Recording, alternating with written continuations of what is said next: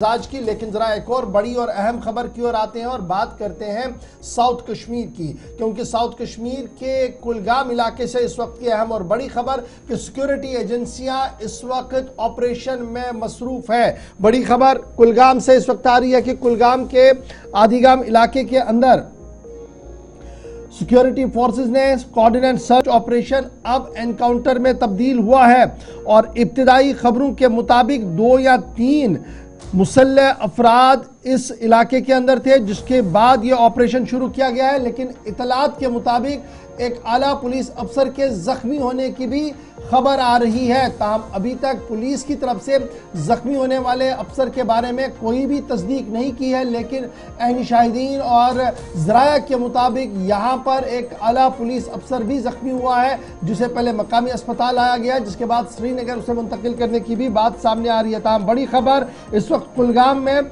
जहाँ पर एनकाउंटर शुरू हुआ है। आदिगाम दिवसर, कुलगाम का इलाका है, जहाँ पर सिक्योरिटी और इंटेलिजेंस इदारों को यह इतला मिली थी। कि दो या तीन मिलिटेंट इस इलाके के अंदर छुपे बैठे हैं जिसके बाद सर्च किया गया और जो ही सर्च पार्टी उस मकान तक पहुँची जहाँ पर मिलिटेंट छुपे बैठे थे तो उन वहाँ से फायर किया गया। और इब्तदाई तौर पर जो इतलात और ख़बरें हमारे पास है कि सिक्योरिटी एजेंसीज की अवलिन तरजीह ये थी कि जो सिविलियन आबादी इस एनकाउंटर साइट के आसपास है उन्हें किसी भी तरीके से इवैक्यूएट किया जाए उन्हें बाहर निकाला जाए जिसमें सौ फ़ीसदी कामयाबी अभी तक होती हुई नज़र आ रही है। और अब बहुत बड़े पैमाने पर यहाँ पर ऑपरेशन भी शुरू हो गया है। बड़ी खबर इस वक्त आ रही है, कुलगाम का दिवसर इलाका, जहाँ पर सिक्योरिटी एजेंसीज ने वसी इलाके का ऑपरेशन शुरू किया, क्योंकि दो या तीन मिलिटेंटों के छुपे होने की इतला यहाँ पर सिक्योरिटी एजेंसीज को मिली है। तस्वीरें आप इस वक्त आड़ीगाम दिवसर की देख रहे हैं, जहाँ पर ऑपरेशन जारी है, लेकिन बरह रास्त तस्वीरें नहीं है। कुछ वक्त में पहले की है। हम अपने नुमाइंदे के पास सीधे चलेंगे। अब्दुल हमीद हमारे साथ ज्वाइन करेंगे।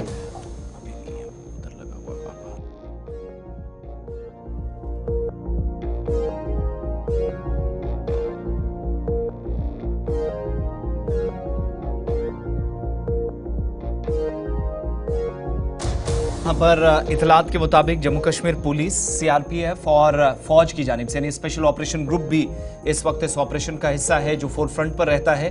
अब इलाके के अंदर मिल्टन किसी रिहायशी मकान में है या नहीं, ये पुलिस की जानब से तस्दीक किया जाना बाकी है। मगर ये ज़रूर है कि रिहायशी इलाका है और सुबह सुबह जब पार्टियाँ पार्टी यहाँ पर पहुँची तो गोली चलने की भी खबर है और जराए बताते हैं कि पुलिस अफसर एक जख्मी हुआ है। इसके बाद से मजीद फोर्सेज या जो इजाफी कुंभक है वो इलाके में तैनात की जा रही है। तस्वीरें उस मकाम की जहाँ ऑपरेशन शुरू हुआ है। इस वक्त तकरीबन साढ़े तीन चार घंटों का वक्त गुजर चुका है।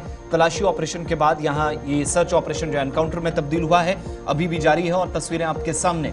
जम्मू कश्मीर पुलिस, फौज और सीआरपीएफ की जानब से मजीद फोर्सेज जब यहाँ पर बुलाई गई है तो तमाम दाखिली और खारजी रास्तों को सील कर दिया गया है, ताकि किसी भी तरीके से कोई गैर ज़रूरी नकलो हरकत ना हो और इस ऑपरेशन को आगे बढ़ाया जा रहा है।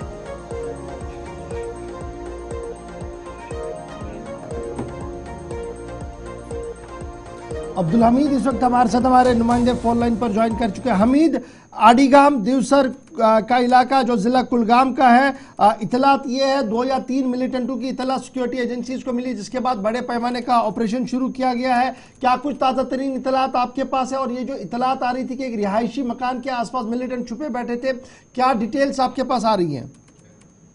जी सुबह सवेरे छह बजे का वाक़ा जबकि उस पूरे अड़ी गाँव को पूरी तरह से घेराव में ले लिया फौज सीआरपीएफ और पुलिस ने।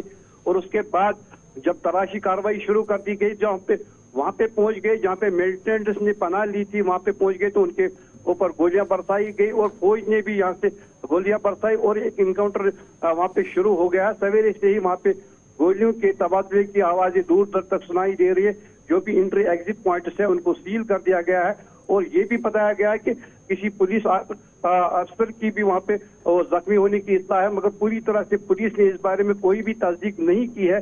ये एडीगाम गाँव एक छोटा सा ही गाँव है, जो दूसर से तकरीबन तीन किलोमीटर की दूरी पर है। वहाँ पर ये इस वक्त इनकाउंटर जारी है। जी। गाँव के अंदर हम देख पा रहे हैं, जो तस्वीरों से यहाँ हो रहा है कि ऑपरेशन चल रहा है। किसी तरीके से कोलेट्रल डैमेज ना हो, ये हमेशा से कोशिश रही है। क्या मकामी लोगों को वहाँ से वैक्यूएट करने की या घर से बाहर जहाँ पर ऑपरेशन चल रहा निकालने की ज़रूरत पड़ी? क्योंकि तस्वीरों से तो ऐसा लग रहा बड़ा घनी आबादी वाला इलाका है। हाँ जी हाँ वहाँ पे जो आसपास में रह रहे लोग हैं, उनको तो घरों से निकाल दिया गया है, जहाँ पे इनकाउंटर चल रहा है। वहाँ से उन लोगों को तो वहाँ पे कर दिया गया है। मगर अभी पूरी तरह से वाजे नहीं हुआ है कि कौन से मकान में उन्होंने पनाह ले लिए।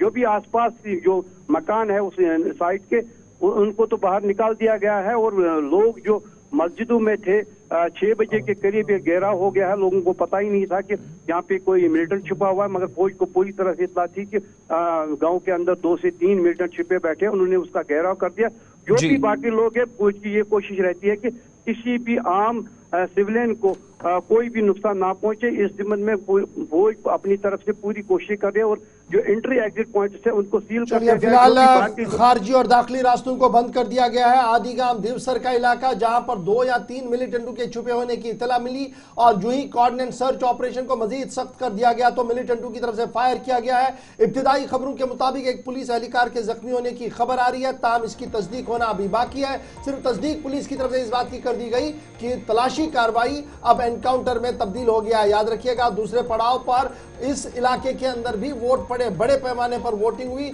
लेकिन अच्छी बात यह कि उन दिनों मिलिटेंटों की तरफ़ से कोई भी इस तरीके की हरकत नहीं की गई, लेकिन अब जब सिक्योरिटी एजेंसीज को इतला मिली तो फ़ौरन से बेशतर कार्रवाई की गई, जो इस वक्त ऑपरेशन कुलगाम के अंदर जारी है। चलिए, आगे बढ़ते हैं। इससे पहले ब्रेक पे जाएँ। जब ऑपरेशंस की बात हो रही है तो जुनूबी